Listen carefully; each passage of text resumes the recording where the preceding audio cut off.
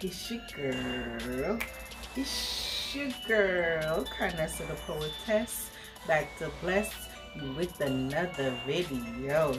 Yes. What's up, my pineapples? I miss you so, so much. Your girl is back and better than ever. Welcome to Vlogmas. Yay! If you don't know what Vlogmas is, what is you doing with your life? So my Vlogmas, my my edition of Vlogmas is seven days straight where I post and it's gonna be different things, but seven days I'm giving you back to back to back vlogs and we're gonna do it from December 19th to December 25th. So make sure you have your notifications on and make sure you're subscribed definitely make sure you're subscribed and also share this video if you enjoyed it. Maybe someone else might enjoy it. So as you can see i'm in the christmas mood. Look at my nails y'all. Look get, get into it. I say and get into it. My candy cane mint nails. Shout out to my nail tech nailed by Nakia. I am ready for the holidays. So let's get right into this video. I know y'all love my story times, especially my worst date ever story times. You guys love to laugh at my pain. so let's just get into it. I was talking to this guy. He lived in a different state than me and we were conversing through the phone and I was feeling him. He was cool. Mind you, this was a while ago, so I was a little bit more ratchet than righteous. it was, you know, we was talking more. So in my mind, this upcoming date was the day where it was going down. Basement. okay, so y'all already know what that means. We talk and we arrange for me to drive to him and uh, spend the weekend with him at his house. So we planned dinner and something else. He he was supposed to be planning everything because I was coming to him and I was gonna spend the weekend with him. So I thought that it would be cool to show up to his house in some lingerie.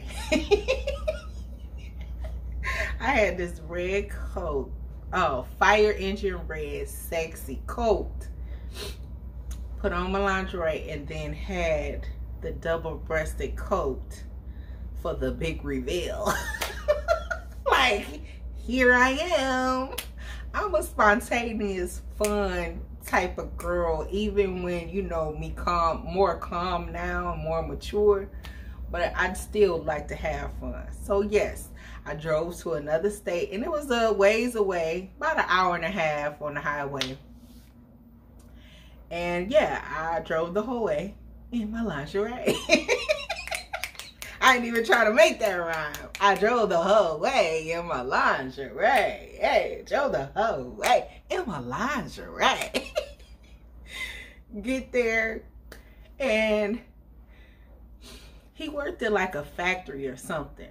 Okay, so the first thing is, I have to tell you, the first red flag was he didn't have no L's. He didn't have no license. So I knew that going in. I still, you know, was trying to work with him because he was a cool dude. He made me laugh. That That's how he got me because he was younger than me. So I didn't know how that would work out with maturity-wise. But he made me laugh. We would have fun on the phone. So that's where he got me with his personality. I said, okay, we're going to try this. You ain't got no L's. All right, I'm going to work with you. I'm going to come to you. Got there, and I come in to bring my stuff. You know, we embraced and everything. So the first thing I noticed is that he has on work uniform. Because it's got like his little name tag on there. And I'm like, hmm, okay, so you work eight hours and you still in your work uniform. You knew I was coming. And basically, you didn't wash your ass. hmm. You not wash your ass? So I was turned off by that. So I come all the way in and he takes me to his bedroom to put my stuff. And y'all, when I got into his bedroom, it was disgusting.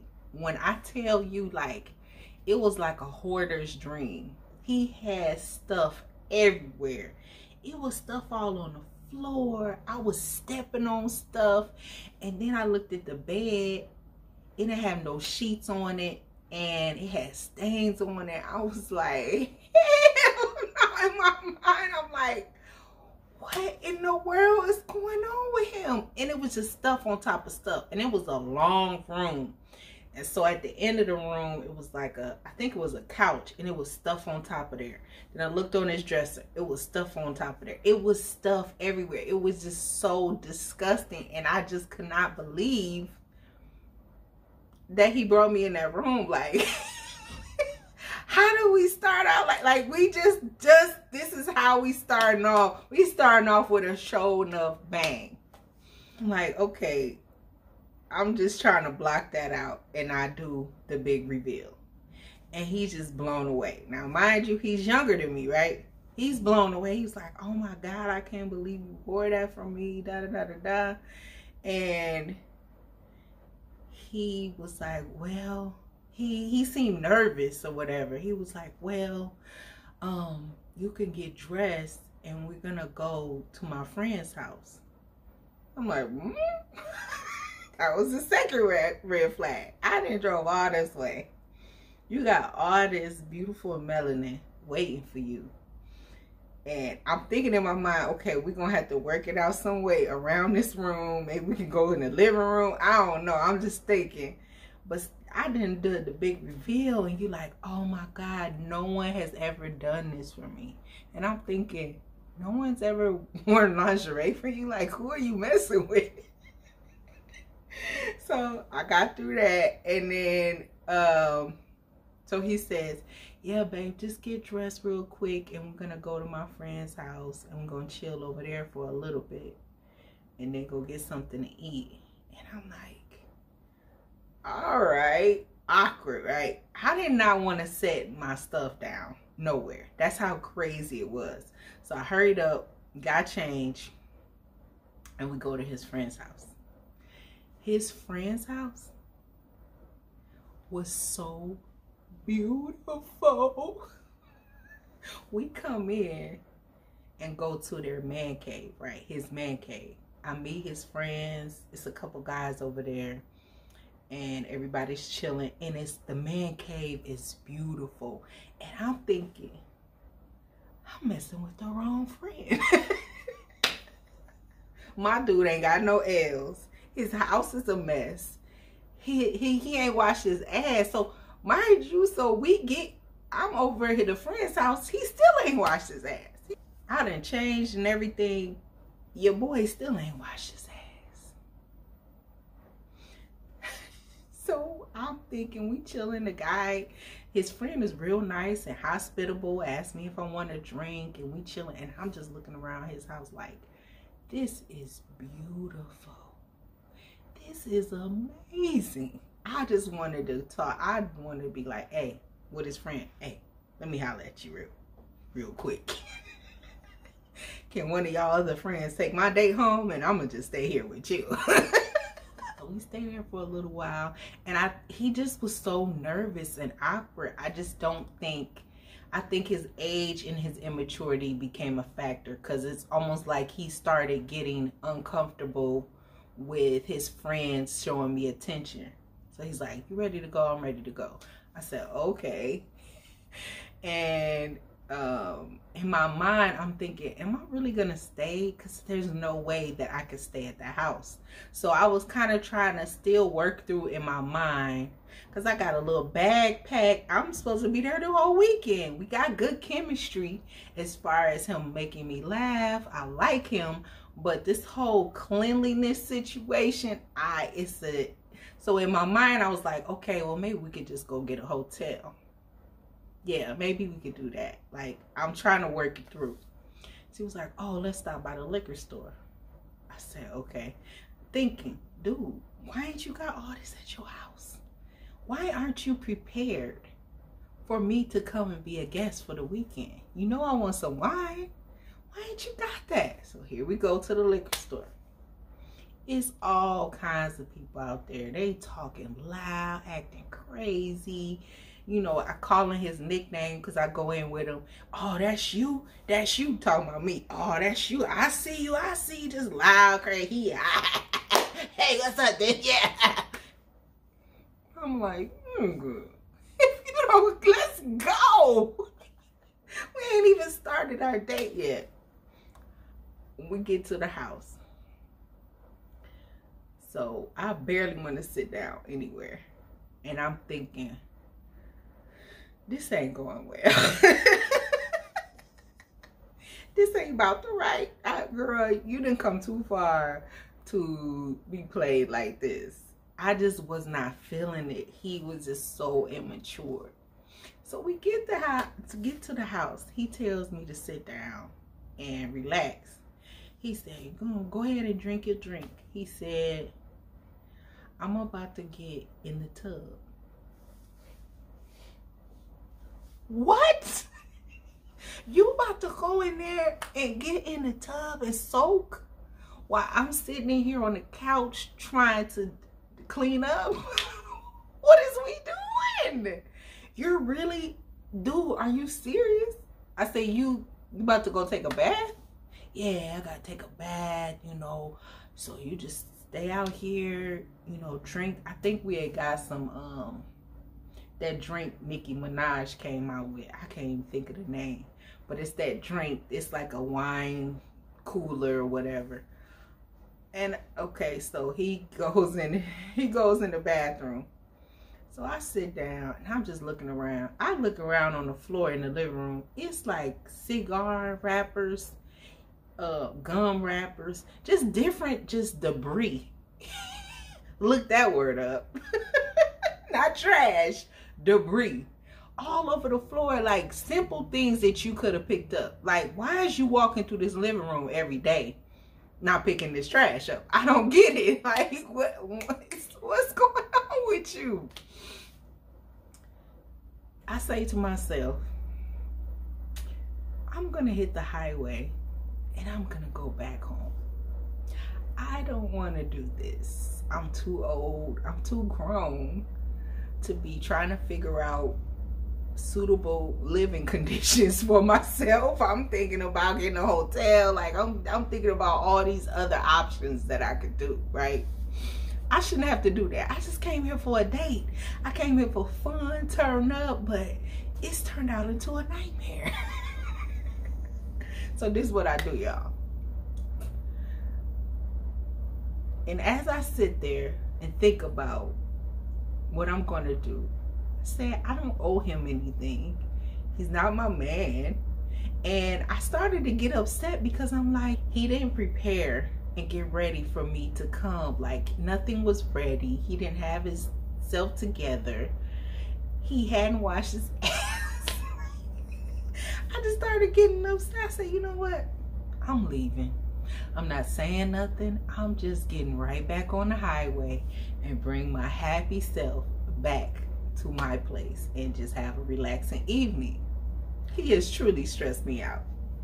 So I, I grab my little bags, lock his door, and go get in my truck and come back to MC. So I'm probably about 10 miles outside of the city that I went to. He called me, where you go? What's wrong? I said, dude, this ain't for me. You weren't prepared to receive me. I'm a grown woman. He was like, I know I'm sorry. I just never had no woman, you know, just show up like that. You kind of threw me off. I'm like, dude, you don't know what to do with a woman that shows up with lingerie. and furthermore, your room, I just went on and told, I said, I'm to be, I'm gonna be very blunt with you because I want you to get this and I want you to understand. I'm not trying to be mean, I'm not trying to be rude, but your room wasn't even ready to receive me. Not not me. I don't think that I'm all that. But there's a certain standard that I need if we're gonna engage, you know, in adult activities. You at least gotta have clean sheets on your bed. I can't work under these conditions. and these are things that I just need you to know as a man. I need you to know these and be ready to receive me. I say you hadn't even taken a shower since work. Do you know how long ago you got off work? So that tells me that your mentality is so immature and it's kind of delayed, you know. So I told him, I told him all these things and I tried to be as nice as I could, but he was just begging me, please come back. I'll do better. I'll do. I said, no, I can't come back to that. I said, the stuff in your room is months and months and maybe years and years of neglect. And you need to clean that out. It ain't healthy. It ain't safe. It ain't romantic. Like, I can't make love. I can't do nothing in that room. It's stuff everywhere.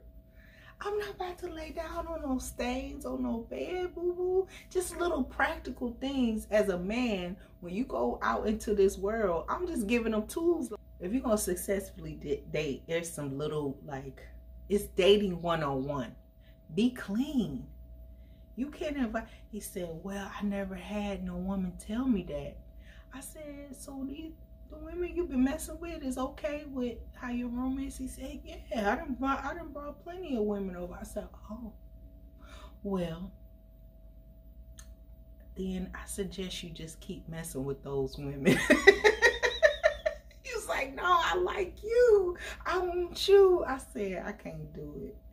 And, you know, uh, ended the phone call and he tried and tried. Poor, poor baby, bless his heart. He tried even like a week maybe three days, four days later, he messaged me and was like, oh, I cleaned up the house and I want you to come back. I said, no, it's no, it's no second chances to make a first impression, baby. It's gone. It's, it's long gone. but just do better for the next woman. Like that's, I just kept telling them, I'm like, nah, that was a turn off. So yeah, I didn't get fed. I didn't really drink and turn up. I did not have a good time. And I, I got on the highway and made it there and got right back on the highway and came back. I hope you guys enjoyed this story time of one of my worst dates ever. Please like, comment, subscribe, and hit the bell. And please join me tomorrow for another Vlogmas. Please remember, be like a pineapple, stand tall, and wear your crown. I love you so, so much. Mm -hmm.